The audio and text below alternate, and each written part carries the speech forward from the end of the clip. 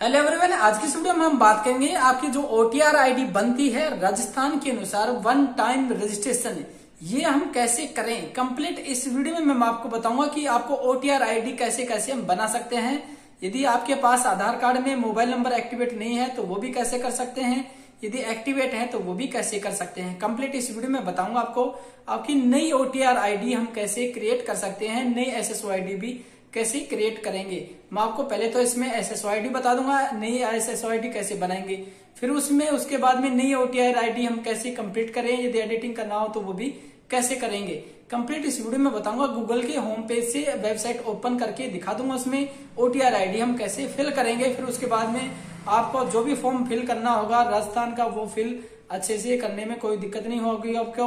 Complete इस video में बता दूँगा। नमस्कार दोस्तों, आपका अपना यूट्यूब चैनल कैरेकर का स्वागत है। तो गाइज़ इस वीडियो में मैं आपको बताऊँगा नई ओटीआर आईडी हम कैसे करें, नई एसएसओ आईडी कैसे क्रिएट करें। तो गाइज़ जब हमने गूगल का होम पेज भी खोल लिया है। यहाँ पर हमें लिख लेना होगा, ठीक है? जैसा कि हम बात करेंगे, यहाँ पर एस एस ओ यहाँ पर जैसे हम टैब करेंगे उसके सामने, आपके सामने किस तरह का इंटरफेस ओपन होगा, वो यहाँ पर देख सकते हैं। राजस्थान सिंगल साइन ठीक है? यहाँ पर देख सकते हैं। इस वेबसाइट को यहाँ से हम ओपन कर लेंगे तो गाइज़ यहाँ से हम जैसे ओपन करेंगे, उसके बाद में अगला ऑप्शन क्या रहेगा, उसमें वो आपको मैं यहाँ पर दिखा देता हूँ गाइज़ ठीक है? मैं यहाँ से कलर भी चेंज कर लेता हूँ गैज ये कलर चेंज करने के बाद मैं यहाँ से इस वेबसाइट को ओपन करूँगा, राजस्थान सिंगल साइन वन के लिए, ठीक है? ये जैसे यहाँ पर आपके सामने ओपन होगी, उसके बाद में हम यहाँ पर देखेंगे आपकी S S I D new create ID कैसे कर सकते हैं। यानी S S O Rajasthan single sign की नई आईडी कैसे बना सकते हैं। तो साइट इस तरह से ओपन हो जाती है, ये ओपन भी हो गई हमारी। यहाँ पर आपको कुछ एक डिटेल यहाँ पर देखने को नहीं मिलेंगे, ठीक है? यहाँ पर देखेंगे हम लॉगिन ठीक है? यहाँ पर आपको लॉगिन का ऑप्शन मिलेगा, यहाँ से रजिस्ट्रेशन का। यदि आप फ़र्स्ट टाइम पे विज़िट कर रहे हैं तो यहाँ पर रजिस्ट्रेशन करें, ठीक है?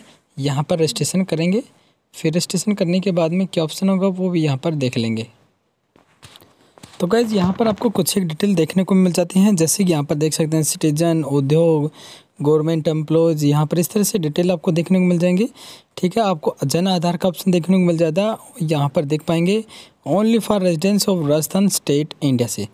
वही अपना फॉर्म भरवाएँगे, यानी जो यहाँ पर है आल अदर के लिए यहाँ पर ऑप्शन मिलेगा आपको गूगल का ऑप्शन ठीक है, यहाँ पर। आप जैसे गूगल पे टैप करेंगे यहाँ पर, ठीक है गूगल पे हम टैप कर लेते हैं। जैसे हम टैप करेंगे तो ऑटोमेटिक हमारा ऑप्शन चला जाएगा ईमेल आईडी वाली ऑप्शन पे। जैसे हम जी मेल आई को अकाउंट ओपन यहाँ से ओपन कर लेते हैं, यहाँ पर इस तरह से। आपको अपनी जी मेल आई डी यहाँ पर ऑटोमेटिक देखने को मिल जाती है, यहाँ से। ठीक है, ये देखने के बाद में यहाँ पर हम जैसे इस पर टैब करेंगे, यानी इस पर दबाएँगे, फिर यहाँ पर जैसे फिंगर यहाँ पर दबाने के बाद में, प्रेस करने के बाद में आपको पासवर्ड का ऑप्शन देखने को मिल जाएगा गाइज़ हम वहाँ पर अपनी ईमेल आईडी का जो पासवर्ड होगा, वो पासवर्ड फिल करेंगे। फिल करने के बाद में जैसे हम सबमिट कर देंगे यहाँ से, ठीक है?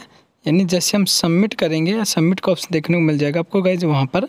ठीक है, जैसे सबमिट करने के बाद में आपको ऑटोमेटिकली एक नया पॉपअप ओपन हो जाएगा। वहाँ पर आपको लिखा देखने को मिल जाएगा कि अपनी new create I D S S O I D आपकी जीमेल आईडी होगी, वो S S O I D create I D हमारी बन जाएगी वहाँ से। ठीक है, बनने के बाद हम उसमें क्या करेंगे, हम फिर हम पासवर्ड भी क्रिएट कर लेंगे, जैसे वो बनने के बाद में, उस पर ओके जैसे करेंगे। पासवर्ड बनने के बाद में हम क्या करेंगे, इस पासवर्ड को नोट कर लेंगे। ठीक है, उसके बाद में सबमिट कर देंगे। सबमिट करने के बाद में फिर हम वहीं उसी होम पेज पे पहुँच जाते हैं वहाँ पर, जहाँ पर हमने एस एस को ओपन कर लेना है वहाँ से। ठीक है? जैसे हम एस एस को लॉगिन के रिलेटेड अब हम बात करेंगे वहाँ पर। ठीक है? आपको ऑप्शन देखने को मिल जाएगा राजस्थान एस एस का। फिर उसी साइड पे पहुँचने के बाद में हम क्या करेंगे? यहाँ पर आपको लॉगिन का ऑप्शन देखने को मिल जाएगा गाइज़ यहाँ पर। इस लॉगिन वाले पोर्शन पे टाइप कर लेंगे। जैसे हम टाइप करेंगे तो आपके सामने कुछ एक तरह की इंटरफेस खुल जाएगा। और इंटरफेस ओपन होने के बाद में वहाँ पर हमें ऑप्शन देखने को मिल जाएँगे। ठीक है, उस ऑप्शन को हम यहाँ पर देख सकते हैं। जैसा कि यहाँ पर आपको कुछ एक ऑप्शन देखने को मिल जाएगा लॉगिन और पासवर्ड से रिलेटेड तो गैज़ यहाँ पर डिजिटल जो आइडेंटिटी यहाँ पर लिखा देखने को मिल रहा है आपको यहाँ पर।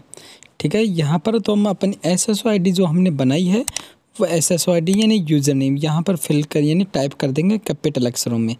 ठीक है? अगला ऑप्शन हमारा यहाँ पर पासवर्ड का। ठीक है? हमने जो पासवर्ड नया पासवर्ड बनाया है, वो यहाँ पर पासवर्ड फिल कर देंगे। उसके बाद में अगला ऑप्शन है आपका ये कैप्चा ये जो कैप्चा कोड है, यहाँ पर फिल करेंगे, फिर हम लॉगिन कर लेंगे। तो गाइज़ यहाँ पर इस तरह से हम करेंगे। यदि आपके पास पासवर्ड मिस हो गया, भूल गए, वो कैसे कर सकते हैं यहाँ से? या फिर अपनी S S I D forward करनी है S S I D multiple है तो यहाँ से मल्टीपल चेक करेंगे। ये सेकंड वाला ऑप्शन ये फॉरवर्ड माई पासवर्ड करेंगे, यहाँ से। उसको आइडेंटिफाई कर लेंगे अपने आई को, ठीक है? फॉरगुट आई को, ठीक है? नेक्स्ट में ये करने के बाद में जैसे हम यहाँ पर फॉरगुट पे करेंगे तो उसके बाद में क्या ऑप्शन होगा? यहाँ पर मैं आपको दिखा देता हूँ गाइज़ फॉरगुट वाले ऑप्शन पे जैसे हम टैप करेंगे तो आपको एस एस और वानी आपको फॉरगुट करना है, किससे? ईमेल से करना है या मोबाइल से करना है? जैसे भी आपको करना चाहें, उसी के अनुसार उसी को हम सेलेक्ट करेंगे. करने के बाद में हम क्या करेंगे? अपने S S Y D capital अक्षर हम डालेंगे. पासवर्ड हमने जो बनाया है, बड़े छोटा ठीक है, उसके अनुसार आपको वेरीफाई कर लेना होगा गाइज़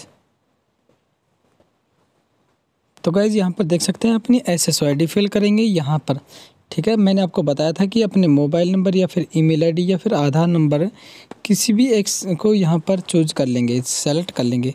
यहाँ पर मोबाइल नंबर का ऑप्शन से सेलेक्ट कर रखा है या फिर ईमेल का कर सकते हैं या फिर आधार का।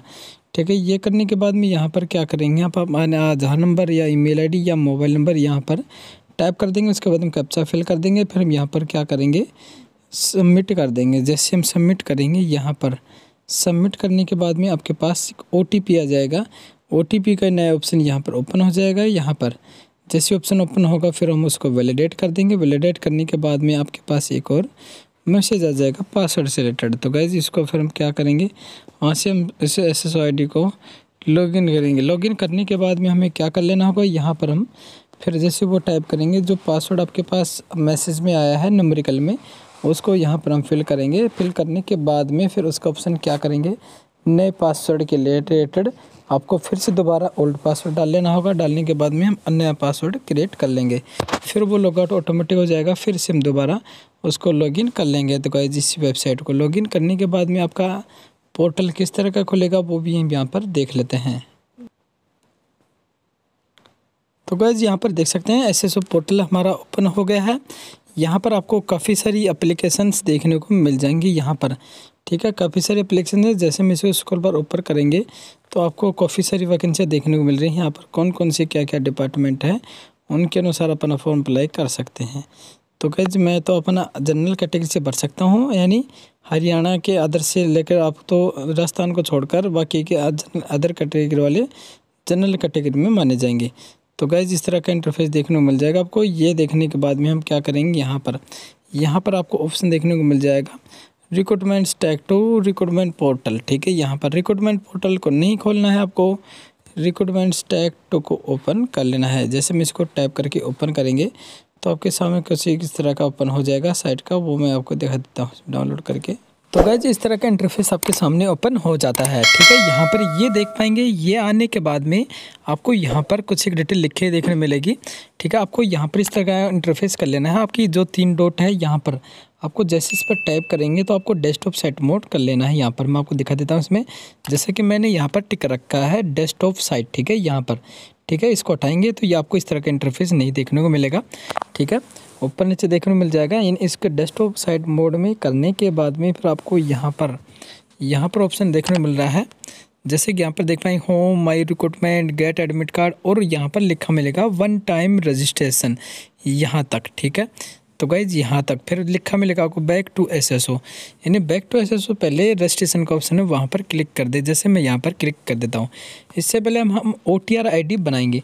ठीक है, और फिर इसके बाद में यहाँ पर देख पाएँगे home guard volunteer enrolment process फिर हम उसके बाद में अप्लाई नाव पे ऑप्शन क्लिक करके अपना उसमें फॉर्म भरेंगे। तो गैज़ हम अपनी ओटीआर फ़ाइल कंप्लीट कर लेते हैं यहाँ से। ठीक है तो गैज़ मैंने यहाँ पर आपको ओ टी से रिलेटेड फॉर्म भर रहा हूँ यहाँ पर। ठीक है हम ओ अपनी नई ओ टी आई कैसे क्रिएट कर सकते हैं।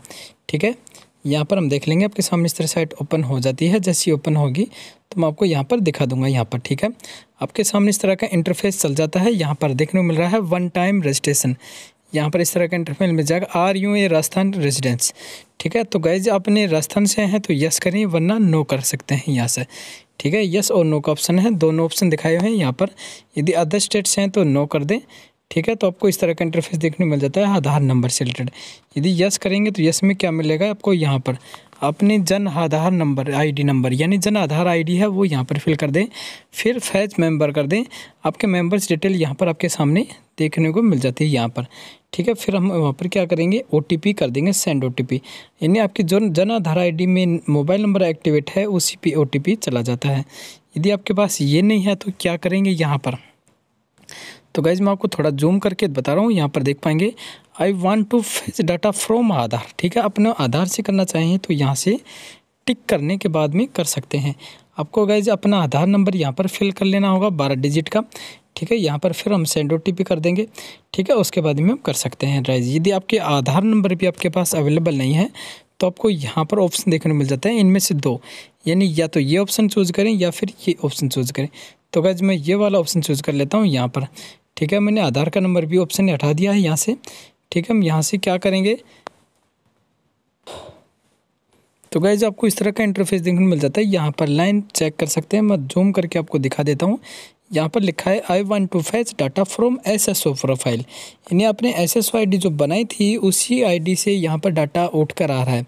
ठीक है, फिर क्या कर सकते हैं? यहाँ पर fetch detail from S S O profile यहाँ पर जैसे टैप करेंगे, इस तरह का इंटरफेस आपके सामने चल जाता है। ये चलने के बाद में इसको थोड़ा सा यहाँ पर जूम किया हुआ था, इसको यहाँ पर चेंज कर लेता हूँ। यहाँ पर आपको देखने को मिल जाएगा मेरा नाम। ठीक है, यानी मेरा जो नाम था कैंडिडेट का नाम, वो मैंने फिल कर रखा था, वो यहाँ पर शो कर रहा है। मेल का ऑप्शन आ गया है, यहाँ पर ऑटोमेटिक ठीक है, अपने मोबाइल नंबर आपकी डेट ऑफ़ बर्थ क्या थी, वो आ गई है। अपने ईमेल आईडी वो आ गई है। यहाँ पर अपने फादर का नाम फिल कर देंगे। फिल करने के बाद में थोड़ा सा ऊपर करेंगे, यहाँ पर इस तरह से। ये करने के बाद में आपको यहाँ पर क्या मिलेगा देखने को? ऐड से रिलेटेड यहाँ पर ऐड कर देंगे। Please enter father name. तो गैज़ मैं यहाँ पर फादर नेम।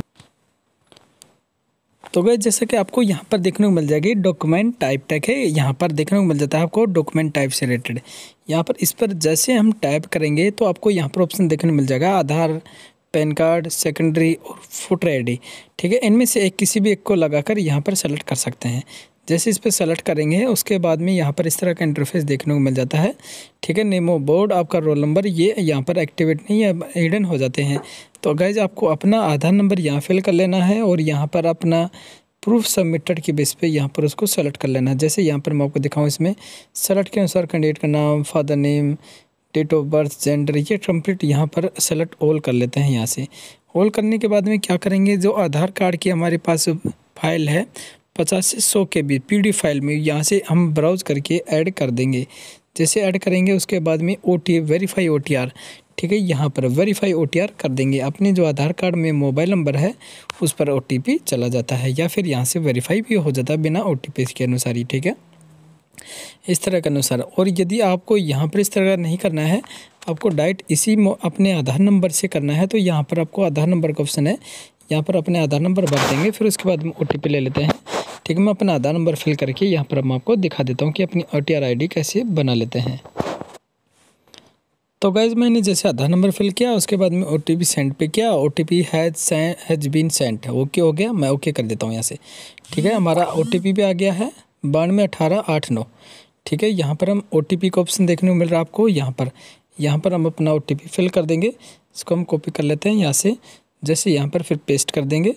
ठीक है यहाँ पर जैसे हम पेस्ट करने के बाद में फिर क्या ऑप्शन होगा वो यहाँ पर देख सकते हैं। तो गैज़ मैंने अपने आधार का जो ओटीपी आया था वो ओ टी फिल कर दिया। फिर यहाँ पर वेरीफाई ओटीपी कर देता हूँ। जैसे हम वेरीफाई करेंगे, उसके बाद में you detail has been verified from Aadhaar से। वेरीफाई हो चुकी है, थोड़ा स्कूल पर ऊपर करेंगे। यहाँ पर जैसे मैंने आपको बताया था फादर नेम ऑटोमेटिक फिल किया हुआ है, यहाँ पर देखने मिल रहा है। और यहाँ पर डेट ऑफ़ बर्थ नाम, ठीक है? और यहाँ पर अपने मोबाइल नंबर फिल कर देंगे, जिस पर हम ओटीपी ले लेंगे। ठीक है, आपका जो भी नेक्स्ट अल्टरनेटिव मोबाइल नंबर है, वो यहाँ पर डाल कर सकते हैं। और यहाँ पर क्या करेंगे अपनी? Email ID get email from S S O profile से। जैसे इस पर टिक कर देंगे ऑटोमेटिक जैसे मैं यहाँ पर टिक कर देता हूँ। ऑटोमेटिक टिक करने के बाद हमारी मेल आई ऑटोमेटिक फिल हो जाती है, जैसे कि यहाँ पर आपको देखने मिल रही है। ठीक है मोबाइल नंबर यहाँ फिल कर देंगे, फिर हम यहाँ से वेरीफाई ओटीआर कर लेते हैं। कैज मैं वेरीफाई ओ टी आर पे क्लिक कर देता हूँ। यहाँ पर आपको ओ ओ अथेंटिकेशन लिखा देखने को मिल जाता है यहाँ से। ठीक है, थोड़ा जूम कर लेते हैं।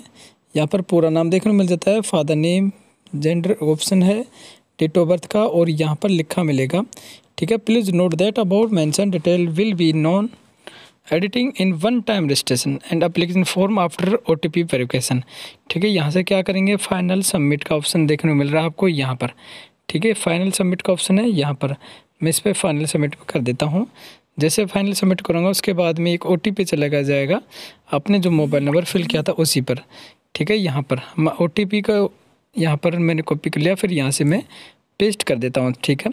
यहाँ पर मैं ओ टी पी को पेस्ट कर दिया हूँ, यहाँ पर पाँच डिजिट का ओ टी पी आएगा आपके सामने वेरीफाई ओ टी पी कर देंगे यहाँ से। ठीक है, यहाँ पर टाइम भी चला हुआ है। तो गाइज़ हमारा ओ टी वेरीफाइड हो चुका है। हम ओ टी ओके कर देते हैं। यहाँ पर आपको देखने को मिल जाएगा O T P authentication registration number यहाँ पर आ चुका है हमारा। Now you can fill your application form okay ठीक है, यहाँ पर इस तरह का इंटरफेस आपके सामने देखने को मिल जाता है। तो वैसे इस तरह से हम अपनी O T R I D कर सकते हैं। यानी हमारी O T R I D बन चुकी है, हमारा रजिस्टर नंबर आ चुका है। फिर इसके ओके करने के बाद में हम अपना फॉर्म भी अप्लाई कर सकते हैं। ठीक है, मैंने आपको कंप्लीट बता दिया है O T R I D हम कैसे क्रिएट कर सकते हैं। तो वैसे इसके बाद में आपको क्या कर लेना है, अपनी फॉर्म पे वेबसाइट पे चले जाता है। वहीं पे उसी वेबसाइट पे ओपन हो जाएगी हमारी ओके करने के बाद में। ओपन होने के बाद में क्या करेंगे back to S S O profile पर पहुँच जाते हैं। Back to to process profile पे वहाँ पर जाने के बाद में फिर हम क्या करेंगे, अपने फॉर्म को अप्लाई भी कर लेते हैं यहाँ से। तो गैज हमने जो बैक आ गए हैं, अपने ओ टी कंप्लीट करने के बाद में फिर हम यहीं पर पहुँच जाते हैं अप्लाई नावा के ऑप्शन पर। ठीक है, अप्लाई नाव वाले ऑप्शन पे पहुँच जाएँगे। उस पर पहुँचने के बाद में हमने जो अपनी ओटीआर फिल की थी कंप्लीट, उससे रिलेटेड यहाँ पर आप को लाइन देखने को मिल जाती है।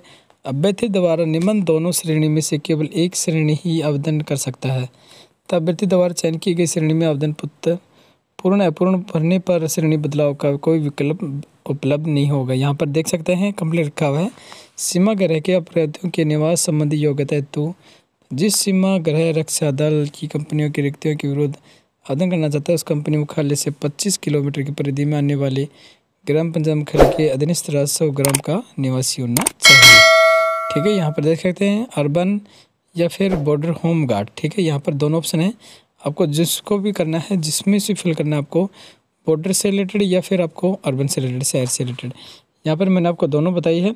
ठीक है, जिसको भी आप सेलेक्ट करना चाहें, उसको सेलेक्ट कर सकते हैं आपको जिससे फॉर्म अप्लाई करेंगे। ठीक है, जैसे मान लो अर्बन होम गार्ड का मैं फॉर्म फिल करूँगा, शहर से रिलेटेड यहाँ पर, ठीक है। तो ये जैसे मैंने सेलेक्ट किया, उसके बाद में कंप्लीट इस तरह का इंटरफेस आपके सामने ओपन हो जाता है। यहाँ पर आपको कंप्लीट डिटेल फिल की हुई देखने मिल जाएँगे गाइज़ तो गाइज़ आपको इस वीडियो का लिंक डिस्क्रिप्शन बॉक्स में वेबसाइट का लिंक डिस्क्रिप्शन बॉक्स में देखने को मिल जाएगा। वहाँ से दूर से अपना फॉर्म अप्लाई कर सकते हैं। मैंने आपको ओ फ़ाइल के बारे में कंप्लीट बता दिया है गाइज़ ठीक है? अब हम इस वीडियो में नेक्स्ट वाली वीडियो कंप्लीट वीडियो को डिस्क्रिप्शन बॉक्स में दे दूँगा, यहाँ पर लिंक जाके अपना फॉर्म अप्लाई कर सकते हैं। इससे अगली वो जो वीडियो मिलेगी, आपको देखने को मिल जाएगी वहाँ पर कि आपको होम कार्ड का फॉर्म हम कैसे अप्लाई कर सकते हैं। अब मैंने आपको कंप्लीट बताया कि अपनी O T R I D complete कैसे कर सकते हैं। O T R I D में कंप्लीट मैंने आपको स्टेप बाय टू शुरू से लास्ट तक स्टेप बाय स्टेप बात बताई है। फिर भी आपको कोई डाउट है तो मुझे कमेंट करके पूछ सकते हैं।